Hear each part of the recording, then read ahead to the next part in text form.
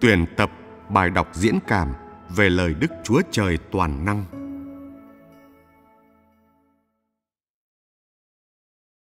Công tác của Đức Chúa Trời, tâm tính của Đức Chúa Trời và chính Đức Chúa Trời. Một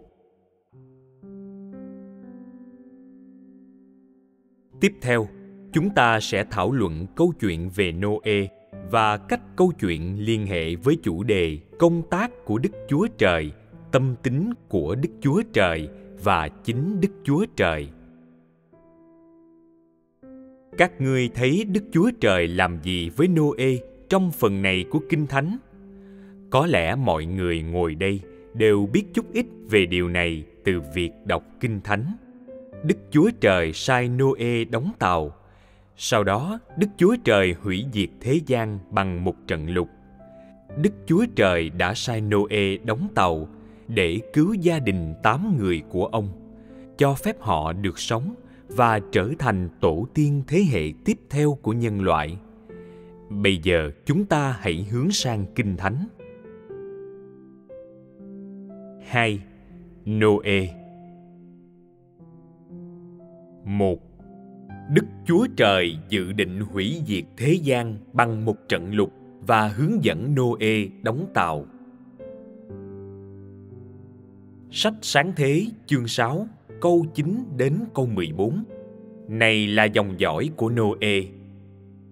Noe trong đời mình là một người công bình và toàn vẹn, đồng đi cùng Đức Chúa Trời Noe sanh ba con trai là Sem, Cham và ra phết Thế gian bấy giờ đều bại hoại trước mặt Đức Chúa Trời và đầy dẫy sự hung ác. Này, Đức Chúa Trời nhìn xem thế gian, thấy điều bại hoại, vì hết thảy xác thịt làm cho đường mình trên đất phải bại hoại. Đức Chúa Trời bèn phán cùng Noe rằng: kỳ cuối cùng của mọi xác thịt đã đưa đến trước mặt ta vì cớ loài người mà đất phải đầy dẫy điều hung hăng. Vậy ta sẽ diệt trừ họ cùng đất. Người hãy đóng một chiếc tàu bằng cây gô phe, đóng có từng phòng, rồi trét chai, bề trong cùng bề ngoài. Sách Sáng Thế chương 6 câu 18 đến câu 22. Nhưng ta sẽ lập giao ước cùng ngươi, rồi ngươi và vợ, các con và các dâu của ngươi đều hãy vào tàu. Về các loài sanh vật, ngươi hãy dẫn xuống tàu mỗi loài một cặp, có đực, có cái, có trống, có mái, hầu cho ở cùng ngươi, đặng giữ tròn sự sống. Chim tùy theo loại, súc vật tùy theo loại côn trùng tùy theo loại. Mỗi thứ hai con sẽ đến cùng ngươi, để ngươi giữ tròn sự sống cho. Lại, ngươi hãy lấy các thứ đồ ăn đem theo, đặng để dành làm lương thực cho ngươi và các loài đó. Noe làm các điều này y như lời đức chúa trời đã phán dặn. Bây giờ các ngươi đã có sự hiểu biết tổng quát về việc Noe là ai sau khi đọc những đoạn này chưa? Noe là dạng người gì? Văn bản gốc ghi là Noe trong đời mình là một người công bình và toàn vẹn. Theo sự hiểu biết của những người hiện đại, dạng người nào là người công bình vào thời đó? Một người công bình phải là một người toàn vẹn các ngươi có biết liệu con người toàn vẹn này là toàn vẹn trong mắt con người hay toàn vẹn trong mắt đức chúa trời không? Chắc chắn rằng con người toàn vẹn này là một người toàn vẹn trong mắt đức chúa trời, chứ không phải trong mắt con người. Điều này là chắc chắn. Đây là bởi con người mù quáng và không thể nhìn thấy và chỉ Đức Chúa Trời mới nhìn khắp thế gian và mỗi một con người và chỉ Đức Chúa Trời mới biết rằng Noe là một người toàn vẹn. Vì lẽ ấy, kế hoạch hủy diệt thế gian bằng một trận lục của Đức Chúa Trời bắt đầu từ khoảnh khắc Ngài triệu gọi Noe. Trong thời đại đó, Đức Chúa Trời đã có ý định triệu gọi Noe làm điều gì đó rất quan trọng. Tại sao nhiệm vụ này lại phải được thực hiện? Bởi vì Đức Chúa Trời đã có một kế hoạch trong lòng Ngài vào khoảnh khắc đó. Kế hoạch của Ngài là hủy diệt thế gian bằng một trận lục. Tại sao Ngài lại hủy diệt thế gian? Như ở đây có nói, thế gian bấy giờ đều bại hoại trước mặt Đức Chúa Trời và đầy dẫy sự hung ác. Các ngươi góp nhặt được gì từ cụm từ thế gian đầy dẫy sự hung ác? Đó là một hiện tượng trên đất mà thế gian và con người sống trong đó đã trở nên bại hoại đến tột độ. Do đó mà thế gian đầy dẫy sự hung ác. Theo cách nói ngày nay, đầy dẫy sự hung ác có nghĩa là mọi thứ đều hỗn loạn đối với con người nó có nghĩa là mọi thứ trong có trật tự đều mất đi trong mọi phương diện cuộc sống. Và rằng mọi thứ đã trở nên hỗn loạn và không thể quản lý được. Trong mắt đức chúa trời, điều này nghĩa là con người của thế gian đã trở nên quá bại hoại. Nhưng bại hoại đến độ nào? Bại hoại đến độ Đức Chúa Trời không còn có thể chịu đựng được nữa khi theo dõi hay kiên nhẫn với họ nữa. Bại hoại đến độ Đức Chúa Trời định hủy diệt họ. Khi Đức Chúa Trời quyết hủy diệt thế gian, Ngài đã lên kế hoạch tìm ai đó đóng tàu. Đức Chúa Trời đã chọn Noe để thực hiện nhiệm vụ này. Nghĩa là Ngài sai Noe đóng một chiếc tàu. Tại sao Ngài chọn Noe? Trong mắt Đức Chúa Trời, Noe là một người công chính. Dù Đức Chúa Trời hướng dẫn ông làm gì thì Noe cũng làm theo đó. Nói thế nghĩa là Noe sẵn lòng làm bất cứ điều gì Đức Chúa Trời bảo ông làm. Đức Chúa Trời muốn tìm ai đó như thế này để làm việc với Ngài – để hoàn thành những gì Ngài đã giao phó, để hoàn thành công tác của Ngài trên đất. Khi ấy, có người nào khác ngoài Noe có thể hoàn thành một nhiệm vụ như thế không? Chắc chắn là không. Noe là ứng viên duy nhất, người duy nhất có thể hoàn thành điều Đức Chúa Trời giao phó, và do đó Đức Chúa Trời đã chọn ông nhưng những giới hạn và tiêu chuẩn của đức chúa trời đối với việc cứu rỗi con người ngày nay có giống y như khi ấy không câu trả lời là, chắc chắn có một sự khác biệt. Và tại sao ta lại hỏi câu này? Noe là người công chính duy nhất trong mắt đức chúa trời trong thời gian đó. Điều này ngụ ý rằng cả vợ ông lẫn các con trai hay con dâu của ông cũng đều không phải là người công chính. Nhưng đức chúa trời vẫn tha cho họ vì noe đức chúa trời đã không đặt ra yêu cầu với họ theo cách ngài làm bây giờ và thay vào đó đã giữ cả tám thành viên gia đình noe được sống sót họ đã nhận được phúc lành của đức chúa trời bởi sự công chính của noe không có noe không ai trong số họ có thể hoàn thành điều Đức Chúa Trời đã giao phó. Vì lẽ ấy, Noe đúng ra là người duy nhất sống sót qua sự hủy diệt thế gian ấy, và những người khác chỉ là được hưởng theo. Điều này cho thấy rằng, vào kỷ nguyên trước khi Đức Chúa Trời chính thức bắt đầu công tác quản lý của Ngài, những nguyên tắc và tiêu chuẩn mà ngài dùng để đối đãi với con người và yêu cầu ở họ là tương đối dễ chịu đối với con người ngày nay cách đức chúa trời đối đãi với gia đình tám người của noe có vẻ thiếu công bằng nhưng so với lượng công tác khổng lồ mà ngài hiện đang làm trên con người và số lượng to lớn những lời phán dạy mà ngài hiện đang truyền đạt, sự đối đãi của đức chúa trời với gia đình tám người của Noe đơn thuần là một nguyên tắc làm việc bởi bối cảnh công tác của Ngài vào lúc đó. Nếu so sánh, thì bên nào nhận được nhiều hơn từ Đức Chúa Trời, gia đình tám người của Noe hay con người ngày nay? Việc Noe được triệu gọi là một thực tế đơn giản, nhưng điểm chính của điều chúng ta đang nói đến, tâm tính Đức Chúa Trời, ý muốn của Ngài và thực chất của Ngài qua việc này thì không đơn giản cho lắm. Để hiểu một số phương diện này của Đức Chúa Trời, chúng ta trước hết phải hiểu dạng người mà Đức Chúa Trời mong muốn triệu gọi và thông qua điều này hiểu tâm tính, ý muốn và thực chất của Ngài. Điều này là rất cần thiết. Như vậy trong mắt Đức Chúa Trời, con người mà Ngài triệu gọi này thuộc dạng người nào? Đây phải là một người có thể lắng nghe lời Ngài và có thể theo những hướng dẫn của Ngài. Đồng thời, đây cũng phải là một người có ý thức trách nhiệm.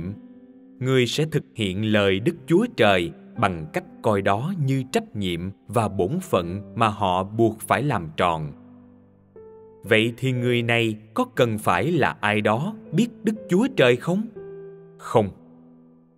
Vào thời đó, Noe đã chưa nghe được nhiều về những lời giáo huấn của Đức Chúa Trời hay đã trải nghiệm bất kỳ công tác nào của Đức Chúa Trời. Vì lẽ ấy, Noe đã có rất ít kiến thức về Đức Chúa Trời. Mặc dù ở đây ghi chép rằng Noe đã đi cùng Đức Chúa Trời, ông có bao giờ thấy bản thể của Đức Chúa Trời không? Câu trả lời chắc chắn là không bởi vì vào thời ấy, chỉ các sứ giả của đức chúa trời đến giữa con người. Mặc dù họ có thể đại diện cho đức chúa trời để phán và làm việc, họ chỉ đơn thuần truyền đạt ý muốn của đức chúa trời và những ý định của ngài. Bản thể của đức chúa trời không được tỏ lộ mặt đối mặt với con người. Trong phần này của kinh thánh về cơ bản thì tất cả những gì chúng ta thấy là điều Noe đã phải làm và điều Đức Chúa Trời đã hướng dẫn ông. Như vậy, thực chất được Đức Chúa Trời bày tỏ ở đây là gì? Mọi điều Đức Chúa Trời làm đều được lên kế hoạch chính xác. Khi Ngài thấy một việc hay một tình huống xuất hiện, trong mắt Ngài có một tiêu chuẩn để đo lường nó và tiêu chuẩn này quyết định liệu ngài sẽ đưa ra một kế hoạch để xử lý nó, hay sẽ dùng phương pháp nào để xử lý việc này hay tình huống này? Ngài không lãnh đạm hay vô cảm đối với mọi thứ. Thật ra là đối lập hoàn toàn. Có một câu ở đây tuyên bố điều đức chúa trời đã phán với noe. Kỳ cuối cùng của mọi xác thịt đã đưa đến trước mặt ta. Vì cớ loài người mà đất phải đầy dẫy điều hung hăng, vậy ta sẽ diệt trừ họ cùng đất. Khi đức chúa trời phán điều này, ngài có ý rằng ngài sắp hủy diệt chỉ mỗi loài người không? Không. Đức chúa trời nói ngài sẽ hủy diệt mọi sinh vật sống thuộc xác thịt tại sao Đức Chúa Trời lại muốn hủy diệt? Có một sự tỏ lộ khác về tâm tính Đức Chúa Trời ở đây. Trong mắt Đức Chúa Trời, có một giới hạn trong sự kiên nhẫn của Ngài đối với sự bại hoại của con người, đối với sự nhơ bẩn, hung ác và bất tuân của mọi xác thịt.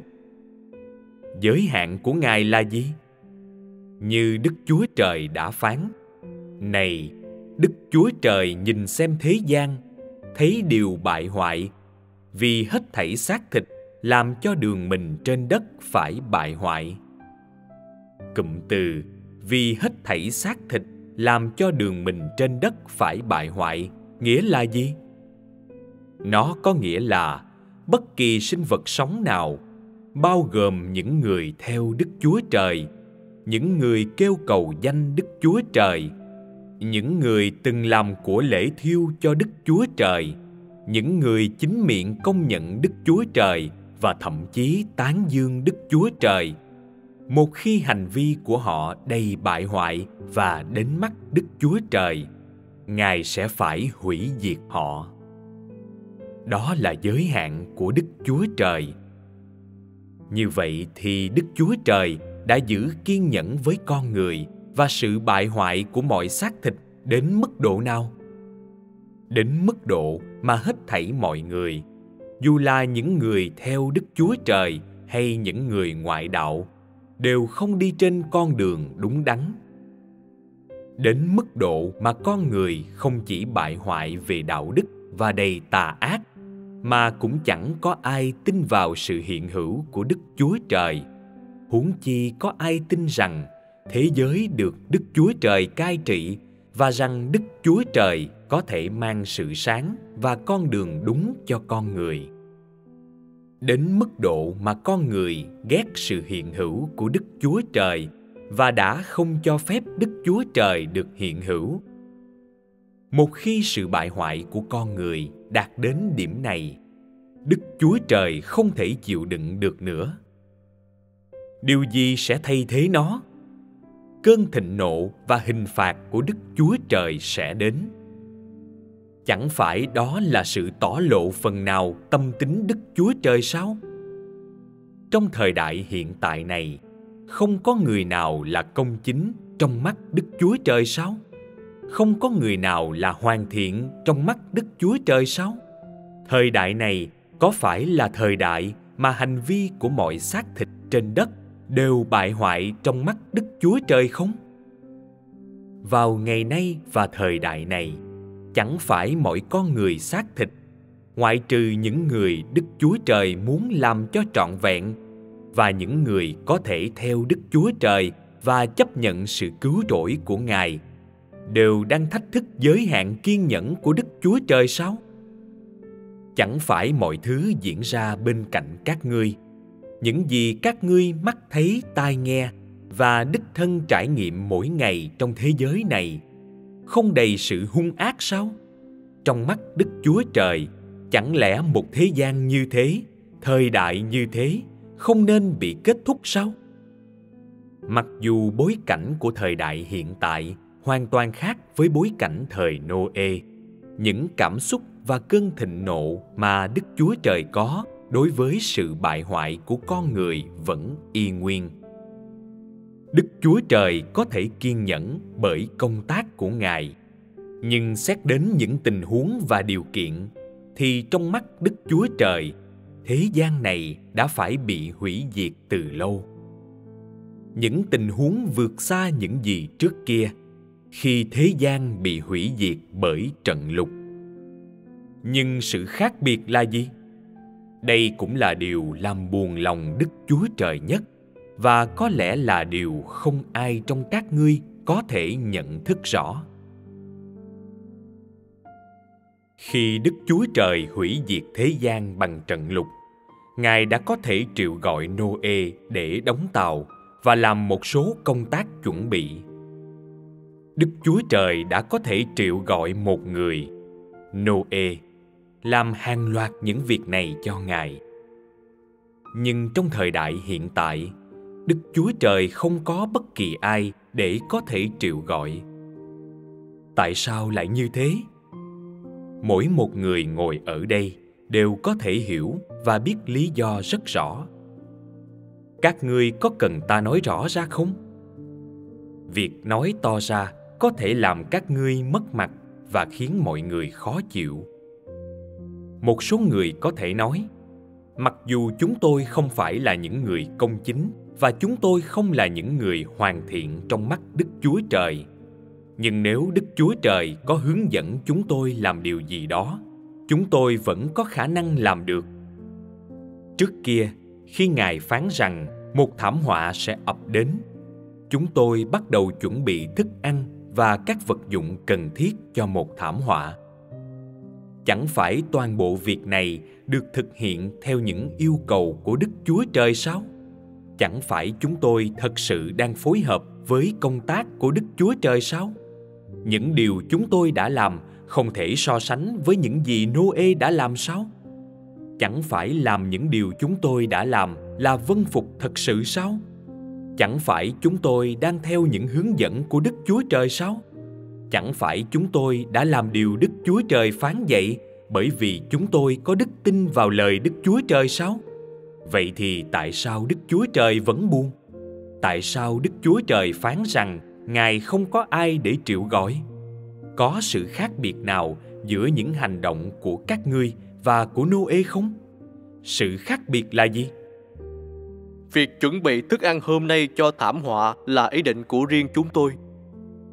Những hành động của chúng tôi không thể được coi là công chính, trong khi Noe thì là một người công chính trong mắt Đức Chúa Trời. Điều các ngươi nói không phải là quá sai. Điều Noe đã làm thực chất là khác với những gì mọi người đang làm bây giờ. Khi Noe làm như Đức Chúa Trời hướng dẫn, ông đã không biết những ý định của Đức Chúa Trời là gì. Ông đã không biết Đức Chúa Trời muốn đạt được gì. Đức Chúa Trời chỉ ban cho ông một sự phán dạy và đã hướng dẫn ông làm điều gì đó và không giải thích nhiều.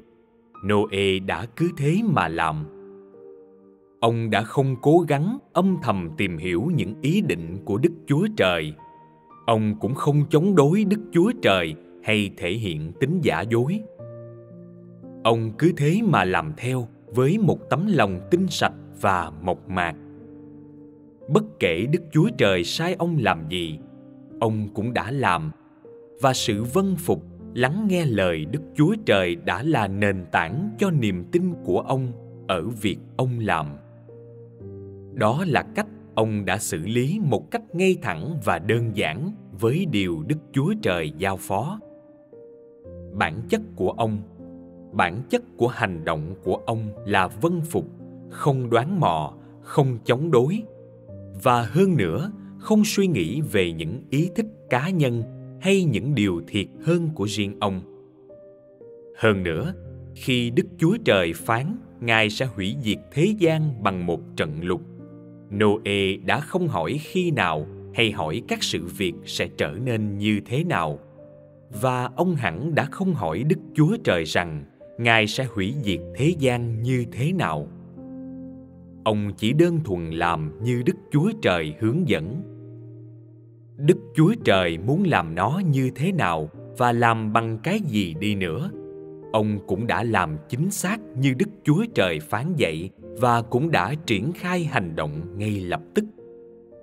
Ông đã hành động theo những hướng dẫn của Đức Chúa Trời với một thái độ muốn làm vừa lòng Đức Chúa Trời. Có phải ông làm như thế để giúp bản thân tránh thảm họa không? Không. Ông có hỏi Đức Chúa Trời còn bao lâu nữa thì thế gian sẽ bị hủy diệt không? Ông đã không hỏi. Ông có hỏi Đức Chúa Trời hay ông có biết sẽ mất bao lâu để đóng tàu không? Ông cũng đã không biết điều đó ông đơn thuần vâng lời, lắng nghe và hành động theo đó con người ngày nay không giống như vậy. Ngay khi một mẫu thông tin bị rò rỉ thông qua lời đức chúa trời, ngay khi con người cảm nhận dù chỉ là tiếng lá xào xạc trong gió, họ ngay lập tức nhảy sổ vào hành động. Cho dù và bất kể giá nào, để chuẩn bị những gì họ sẽ ăn, uống và sử dụng sau đó thậm chí lên kế hoạch những lối thoát cho họ khi thảm họa tấn công. Càng thú vị hơn nữa là, vào khoảnh khắc chính yếu này, bộ não con người rất giỏi sắp xếp đâu vào đấy. Trong những tình huống mà đức chúa trời không ban bất kỳ sự hướng dẫn nào, con người có thể lên kế hoạch mọi thứ một cách rất thích hợp.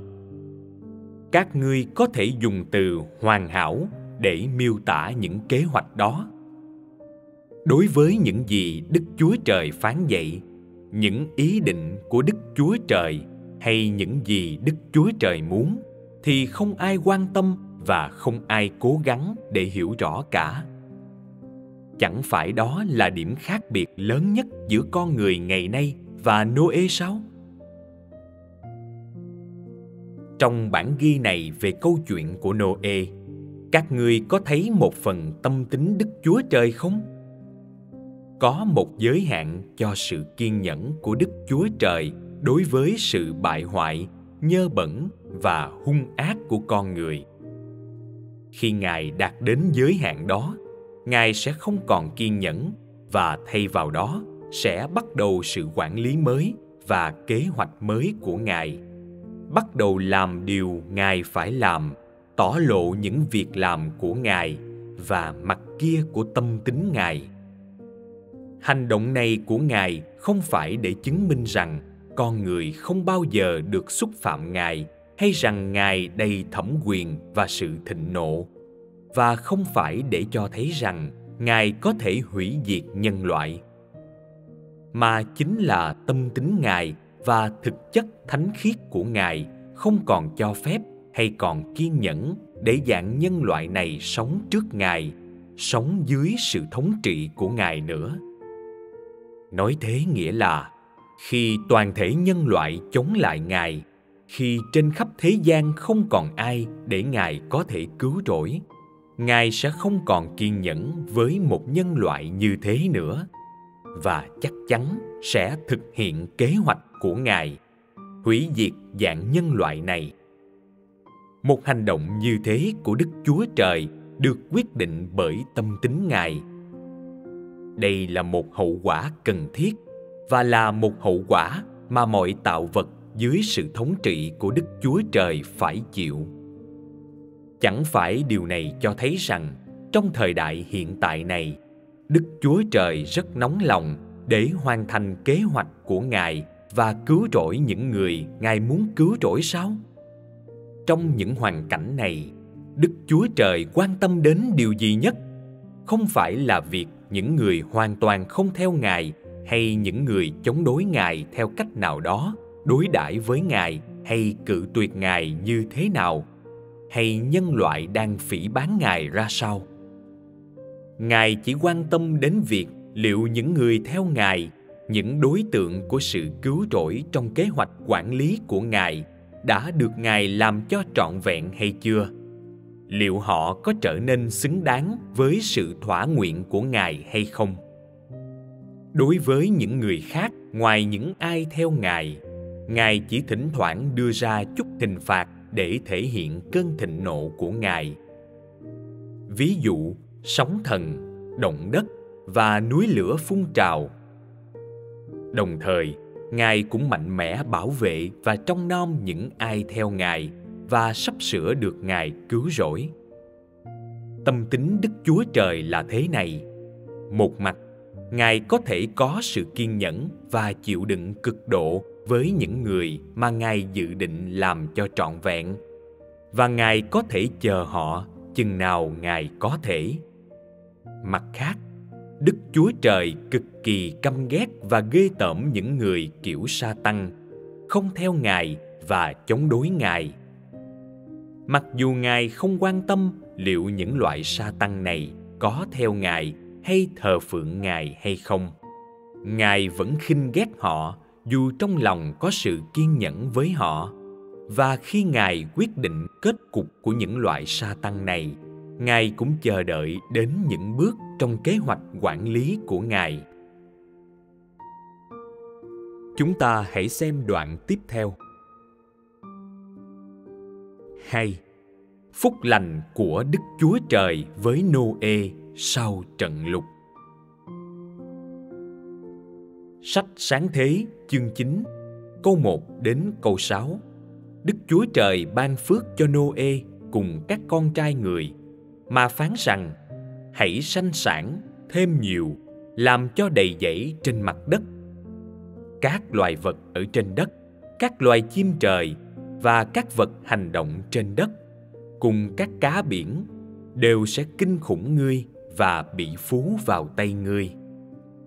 Phàm vật chi hành động và có sự sống thì dùng làm đồ ăn cho các ngươi. Ta cho mọi vật đó như ta đã cho thứ cỏ xanh. Song các ngươi không nên ăn thịt còn hồn sống, nghĩa là có máu. Quả thật, ta sẽ đòi máu của sự sống ngươi lại, hoặc nơi các loài thú vật, hoặc nơi tay người, hoặc nơi tay của anh em người. Hễ kẻ nào làm đổ máu người, thì sẽ bị người khác làm đổ máu lại vì đức chúa trời làm nên người như hình của ngài. Các ngươi thấy gì từ đoạn này? Tại sao ta lại chọn những câu này?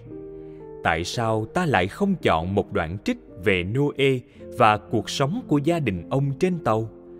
Bởi vì thông tin đó không liên quan nhiều với đề tài mà chúng ta đang trao đổi hôm nay. Điều chúng ta đang tập trung vào chính là tâm tính đức chúa trời. Nếu các ngươi muốn biết về những chi tiết ấy, vậy thì các ngươi có thể cầm kinh thánh lên mà tự mình đọc. Chúng ta sẽ không nói về điều đó ở đây. Điều chính yếu mà chúng ta đang nói đến hôm nay là về cách biết được những hành động của đức chúa trời sau khi noe đón nhận sự hướng dẫn của đức chúa trời và đóng tàu sống qua những ngày đức chúa trời dùng một trận lục để hủy diệt thế gian, cả gia đình tám người của ông đã sống sót. Ngoài gia đình tám người của noe ra, toàn thể nhân loại đều bị hủy diệt và mọi sinh vật sống trên đất đều bị hủy diệt.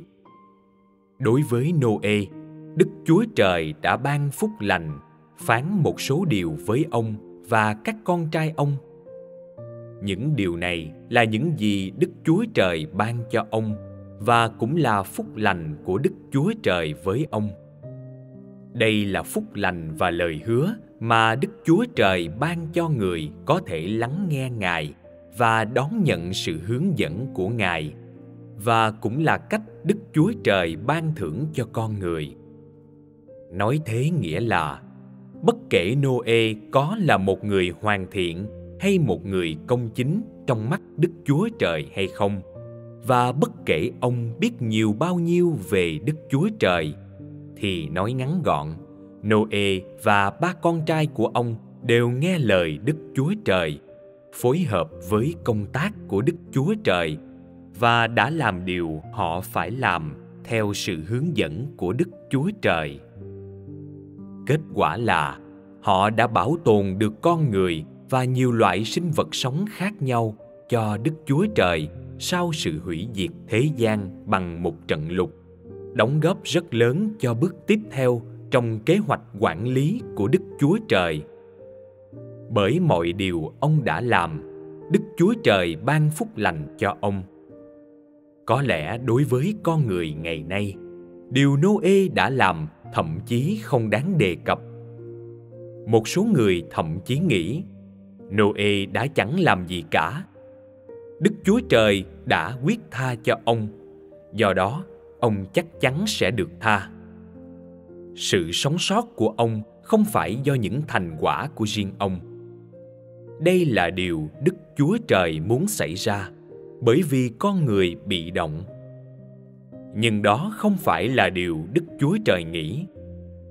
Đối với đức chúa trời, bất kể một người là vĩ đại hay tầm thường, miễn sao họ có thể nghe lời ngài vâng theo sự hướng dẫn của ngài và những gì ngài giao phó và có thể phối hợp với công tác của ngài, ý muốn của ngài và kế hoạch của ngài.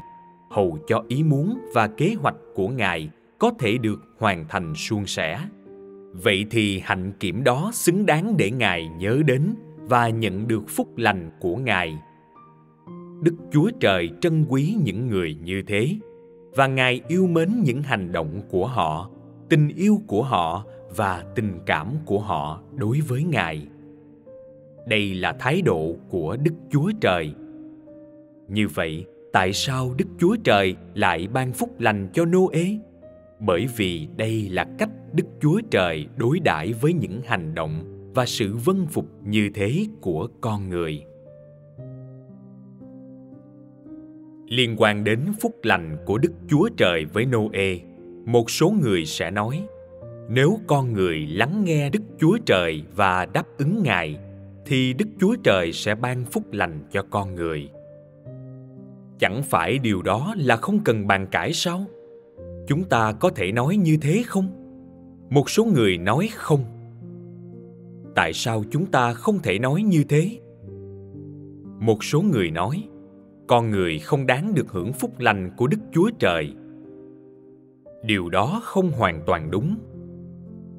Bởi vì khi một người đón nhận những gì đức chúa trời giao phó cho họ, đức chúa trời có một tiêu chuẩn để phán xét liệu những hành động của họ là tốt hay xấu và liệu người đó có vâng phục? Liệu người đó có đáp ứng ý muốn của đức chúa trời? Và liệu họ có đáp ứng tiêu chuẩn ấy hay không? Điều đức chúa trời quan tâm chính là tấm lòng của người đó, chứ không phải những hành động bề ngoài của họ.